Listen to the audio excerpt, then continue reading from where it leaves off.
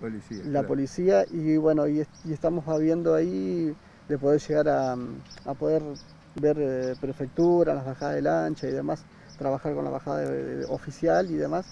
Así que mm, estamos trabajando en esa parte, sí, vamos a estar como siempre, a la noche va a haber eh, la parte de, de serenos, donde bueno, eh, también estamos trabajando en ese sentido. Eh, vamos a, capacitar el personal, si Dios quiere, ya a partir de la semana que viene, la otra estaríamos capacitándolo, porque por ahí tenemos también las la, ganas de, de poder llegar a, darle un marco donde tengamos respeto, ¿no? Eh, sabiendo las, las- las cosas como son, marcando el reglamento del camping como es. Más allá de que nosotros tenemos la playa pública, compartimos también un camping, que ese camping tiene normas de convivencia, entonces tenemos que llevar todo de la mano y es bastante, por ahí se Sí. complica, pero Por eso decía, la seguridad policial ante algunos, este, bueno, eh, eh, diría, este, desacatos, eh, porque los jóvenes escuchan música esta tarde, Sí, no sí, solamente los jóvenes, no le echemos la culpa no, a no, ellos, tal cual. cualquier persona. eh, es molesta y siempre en los campings hasta cierta hora se puede tener música y demás a un volumen discreto, pero a veces eso se cambia, ¿no? Sí, sí, sí. Y bueno, y estos contraventores, diríamos, tendrían que ser, este, eh, bueno, de alguna manera, este, digamos, intimados por la fuerza pública que dejen de, de hacer lo que están haciendo para que todo el mundo conviva. Por cual. eso es muy importante tener un destacamento policial dentro del balneario. Sí, sí, nosotros el año pasado eh, decidimos eh, tomar directamente que la policía estén uniformados acá y que ellos directamente eh, eh, trabajen en ese sentido. Eh, sí tenemos personal que por ahí va, advierte, pero después ya directamente lo maneja policía. Claro. Y este año es más, tengo ganas de, de que directamente lo maneje policía.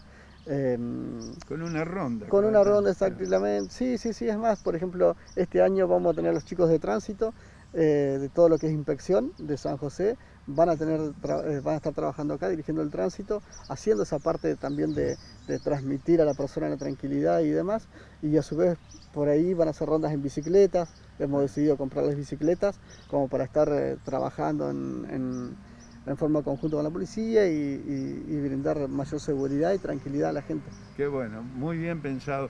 ¿El 4 oficialmente empezaría la temporada?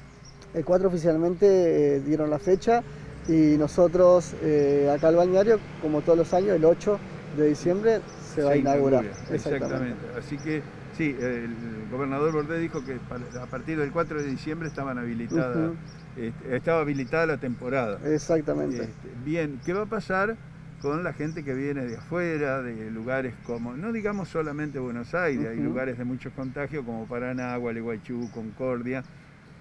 ¿Cómo los van a identificar y cuáles son las recomendaciones? Bien, nosotros eh, en ese aspecto todavía eh, provincia está bajando la información. Nosotros, eh, ante todo, tenemos el gobierno nacional y provincial que, que va, a, eh, que va a bajar la, la información y después, de acuerdo a esa información, es lo que nosotros por ahí vamos a trabajar con los municipios. En este momento, hoy, sí creo que es hoy, es una de las reuniones más importantes que hay como para ir definiendo todas esas cosas eh, por la tarde. Así que en este momento no sabría decirles bien cómo va a ser, Bien. pero, Pero sí, está en carpeta. pero está en carpeta. Sí, ya eh, ayer estuvieron en una reunión con Bailo eh, y hoy seguramente eh, van a terminar de definir toda esa- todos los protocolos de ingreso. Bien. Señor este, Lorenzo, ¿algo más para agregar? No, a compartir con todos también de que bueno, a partir de, de hoy eh, el balneario está habilitado, estaba habilitado de 14 a 19, a partir de hoy está de 8 a 23. Uy, qué bueno. Así que pueden, pueden venir a disfrutar, Comer eh, de pasarla bien, como un asadito, ¿por qué no?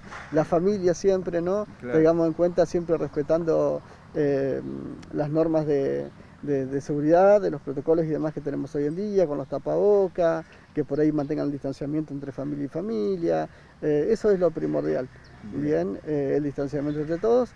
Y, y no, agradecerles por ahí a todos los sanjosecinos por la paciencia que tienen en, en- en por ahí a veces los fines de semana que llega a las 19 y teníamos que sacarlo, que muchas gracias por el respeto que están teniendo con esas cosas, con, con esas normas que teníamos y, y bueno, invitarlos a todos a que bueno, todos los días están invitados para, para, venir y que por ahí tengan un poquito de paciencia, a veces están trabajando, hay ruidos y demás, pero bueno, justamente porque se están mejorando algunas cosas para la temporada. Y agradecerles a ustedes por esta nota.